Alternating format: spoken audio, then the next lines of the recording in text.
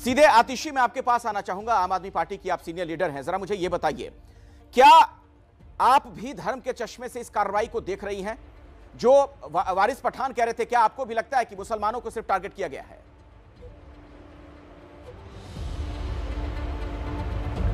देखिए, जो ये सारी दंगई जो ये सारी गुंडागर्दी, जो ये सारी हिंसा हम दिल्ली में हम देश भर में देख रहे हैं ये बीजेपी की देन है। देखिए भाजपा भाजपा गुंडों की पार्टी है।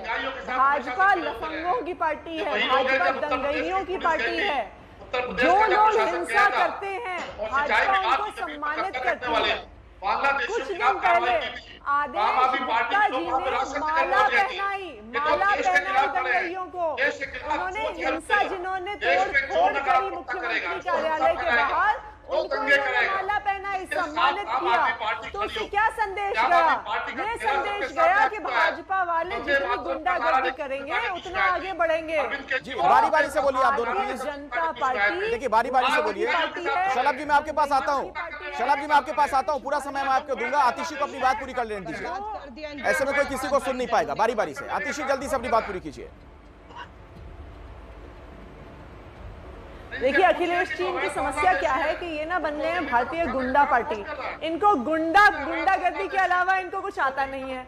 शो में भी गुंडागर्दी मैंने करते मैंने जो सवाल आपसे पूछा आपने मेरे सवाल का जवाब नहीं दिया।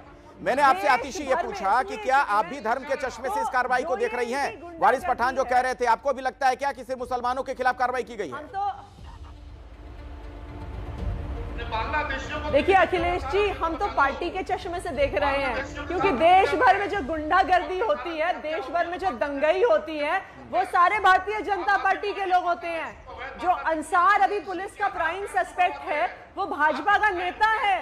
भाजपा के लिए प्रचार करता है। मैं मैं जवाब ले लेता हूँ। चलिए ठीक है आपकी बात हो गई। जी शलभ शलभ? हाँ दंगे हाँ, दंगे तो साफ़ तौर पे बीजेपी ने करवाए हैं। ठीक है। जी शलभ जी बोलिए। हाँ।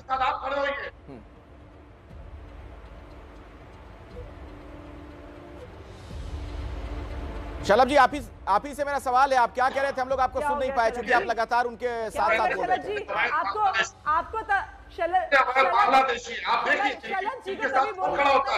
उनके। आधार कार्ड कौन बनाता है? वो राशन कौन पहुंचाता है? मैं तो कहता हूँ जब जब कार्रवाई ऐसे लोगों के खिलाफ हुई है आम आदमी पार्टी के लोग उनका आधार कार्ड बनाते पकड़े गए वोटर कार्ड बनाते पकड़े गए उनका राशन कार्ड बनाते पकड़े गए। जब उत्तर प्रदेश की ज़मीन अवैध बांग्लादेशियों ने कब्जा की थी जब यहाँ से बुलडोजर गया वहाँ पर कार्रवाई हुई। इनके एमएलए खुलेआम उतर कर आए।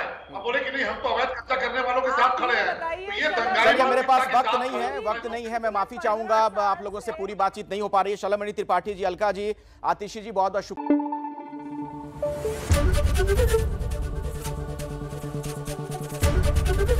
ABP news. आपको रखे आगे।